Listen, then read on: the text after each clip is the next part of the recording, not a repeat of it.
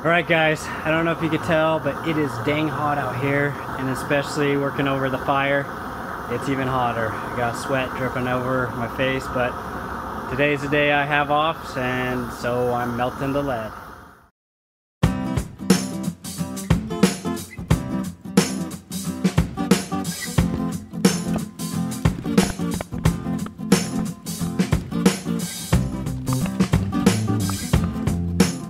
To melt my scrap, I use a Harbor Freight weed burner propane torch and a nice stack of cinder blocks. I got this cast iron Dutch oven on sale pretty cheap. It holds a lot of lead and works great for this.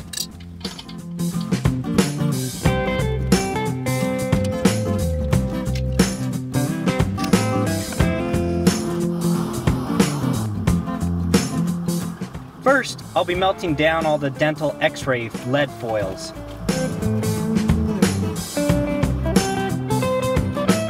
Try to sort out the black x-ray papers as well as the plastic sleeves that sometimes get left behind in the jar.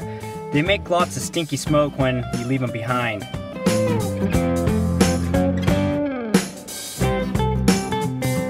The Dutch oven lid helps retain heat and melt the lead faster.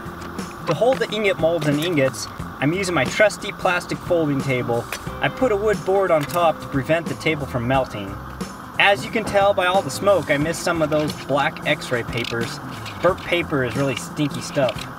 I scoop out the garbage on top, the dross, with some cheapy dollar store kitchen utensils and throw it into a number 10 can.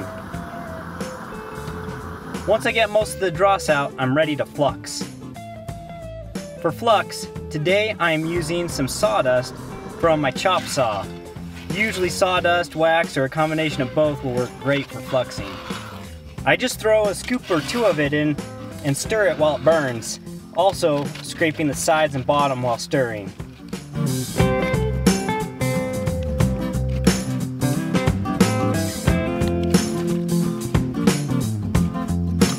Now I'm ready to pour ingots. For ingot molds, I'm using a few Lees, a cast iron sausage cooker I got off of Amazon, and the 1, 2, and 4 pound ingot molds from NOE. This kitchen ladle holds roughly 2 pounds of lead.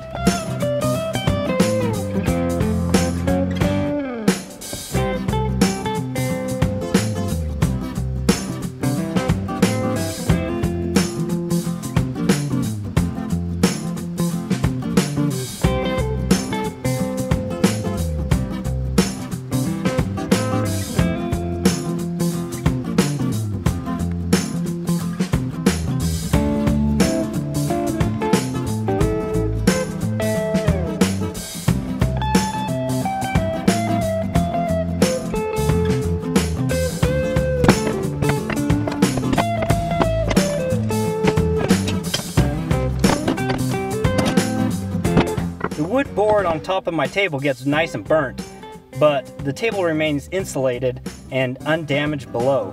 I'm done with the lead foil, so now I'm melting down the stained glass window scrap. I try to pull out the shards of glass, nails, and other junk as I find it, but I don't get it all. Most of the smoke you see coming off is from the glues, sealants, and paper.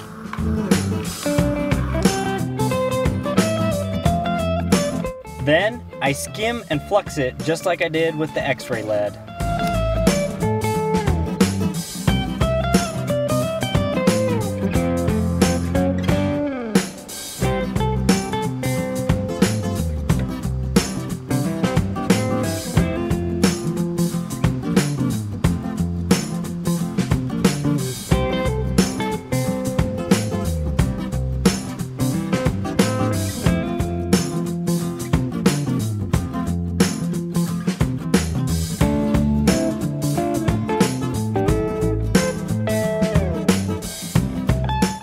I didn't get all seven buckets done, but I did do four of the seven.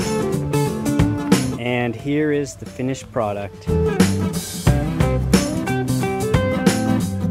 So all in all, I counted these up and I have 265 pounds of ingots now.